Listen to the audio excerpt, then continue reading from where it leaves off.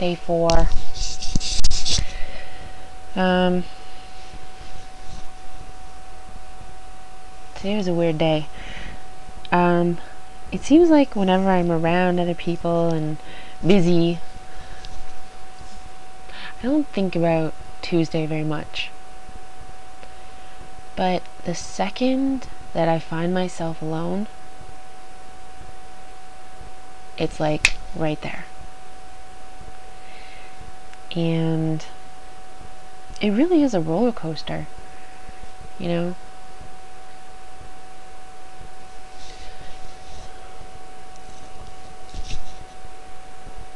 I refuse to let myself think the absolute worst just yet, and I won't let anybody say it either, even though I know that's what everybody's thinking. The big T word, the big C word. Shh. We're not thinking about that. Um,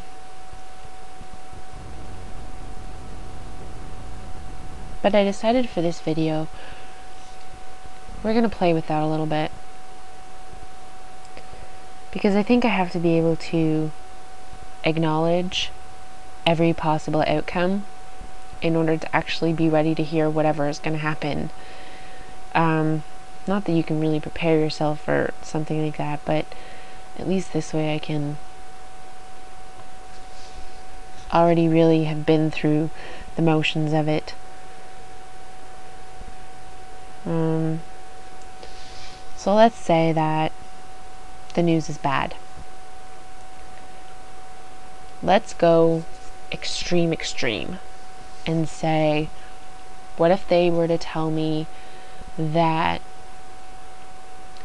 there is a huge tumor and it's past the point of operating and it will most likely be terminal.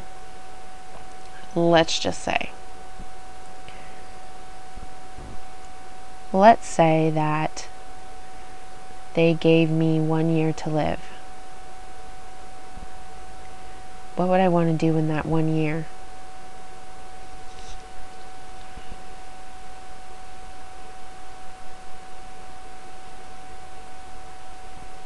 I'd want to go to Australia. I'd want to go see the Ellen DeGeneres show and dance. I'd want to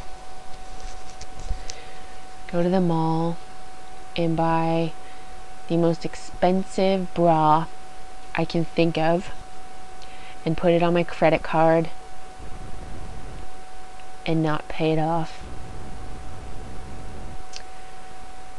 I'd want to do karaoke, go to Ireland, go to Africa, fly out to BC and see my friend for her wedding. I'd like to write a book, fall in love, get married, and have a baby.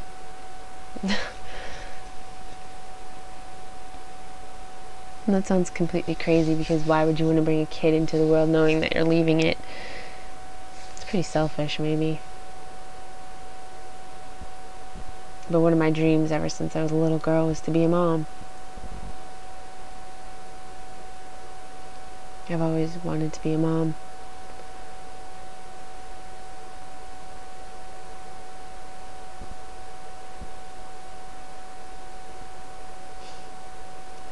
I'd want to rent a car and go driving for a week and stay in really cheesy motels.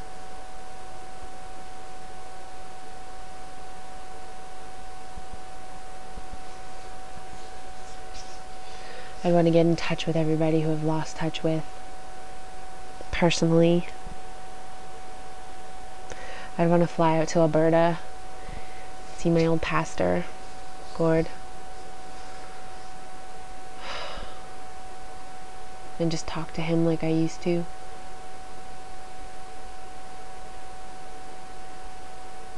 I'd want to take all my videos that I've put up on YouTube and put them on a DVD and burn it for everybody in my family. I'd want to go to Nashville. Oh my gosh, I want to go to Nashville. I'd like to see Mike W. Smith in concert one more time.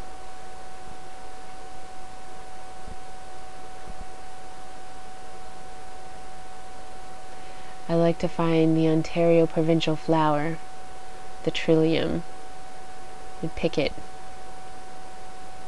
Even though it's totally illegal and get me arrested. That'd be fun. So maybe I want to get arrested.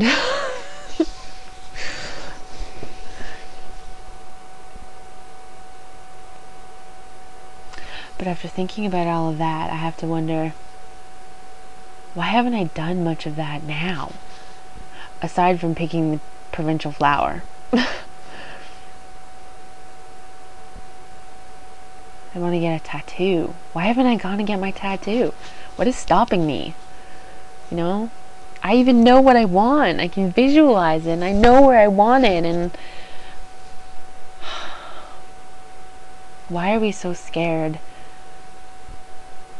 to do the stuff we dream about doing? Why why are we so scared? Why can't we just do it? Before we run out of time. Why can't we just live every day like it was our last? Ugh. Let's get off the morbid train. I have a really packed weekend coming up.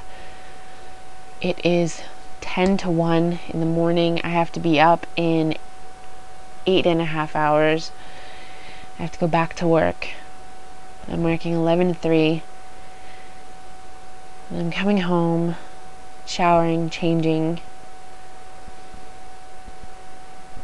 And at some point tomorrow night, I'm going for Thai food with Indy, the king of solitaire showdown. I'm not afraid of you. And then Sunday, my mom and I are going downtown. We're going to go see the Santa Claus parade. Should be really fun. And that's really super duper early. So I'll probably come home to bed after that. and then it'll be Monday.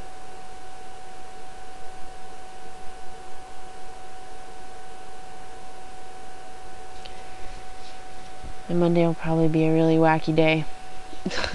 Just knowing that the next morning is is a big deal. Speaking of, I need to call my doctor and confirm my appointment. So I better go do that. So I hope everyone's having a really good weekend. Have fun. Go do something. Knock it off your life list. You got the time. Tick something off this weekend.